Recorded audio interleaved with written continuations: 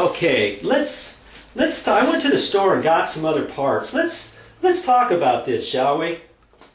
I'm going to talk about this a little bit. I'm going to take. Okay, I, I bought this at the store. Now yours might not come with the rubber gasket here. If it doesn't, you can buy a separate gasket. Or if you buy this whole little tree, you can buy it just like this with the nut, the gasket, and the flapper. Or it might not come with anything. Okay? I'm going to take that off. It might just come with this white goodie. Right? Without the flapper at all. Let's get the flapper out of the way so we're just talking about this, okay? Boom. You could buy that at the store. Okay?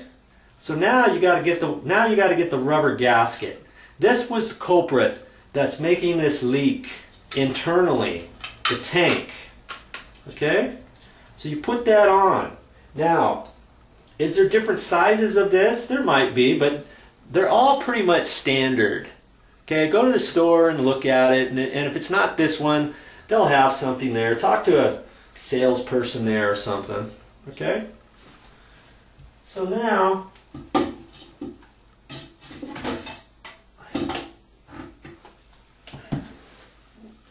hey, looky here. Here's the old one, here's the new one. Look familiar?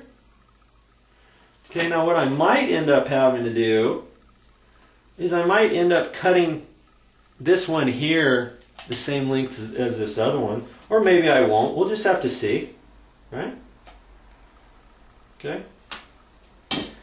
Now I looked at this old one, and the threads just looked a little suspect. Right up in here. I mean, this could be 20 years old, 15, 20 years old. All right. So like I said, I got the new one, and I've decided I'm going to use the new one. Didn't really cost very much money.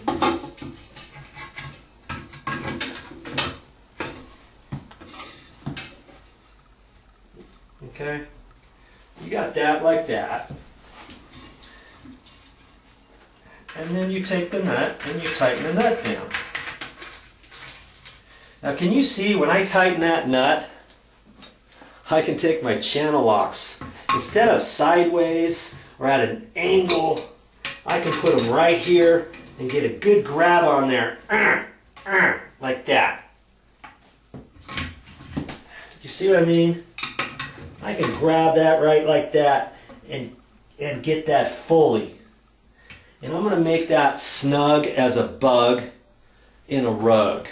Okay, and I can do it that way. I don't need this gasket, do I? So far, so good?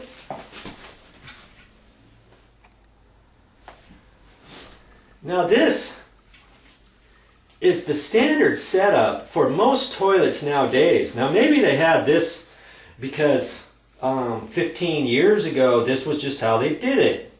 You know, but when you go to replace these, you don't have to do it that way. Okay? But it doesn't have it doesn't have this rubber gasket. What to do with that? Well, here's this thing here. This was the gasket and the washer. Okay? Now they say you can put that washer on like that and you can put the gasket like that. Okay? Now you can seat that and then you've got three bolts that are going to bolt this down to the tank and or to the bowl and then that's going to create the seal around there. Okay? Pretty much like like this. Only different, right? That seems to me kind of slightly hokey. Only because you've got this nut here. And see the nut has the flat washer built into it. You see that? And that washer needs to go up tight there. So when you put this when you put this gasket on there, you're only hitting the edge of that washer. Now some some nuts nowadays are fatter. They almost look like like about that fat on both sides. So if you can imagine having that on there, I don't want to confuse you, there's only one nut. And you can put this on there. And then you can put that on like that. Okay? That's how the gasket and washer work. Okay? There's there's one idea for you. What else can we come up with? Let's talk about this old one again for a minute. You see this rubber gasket around here? This was the old one.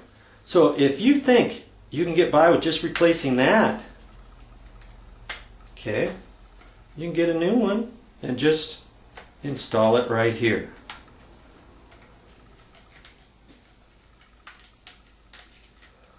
Okay?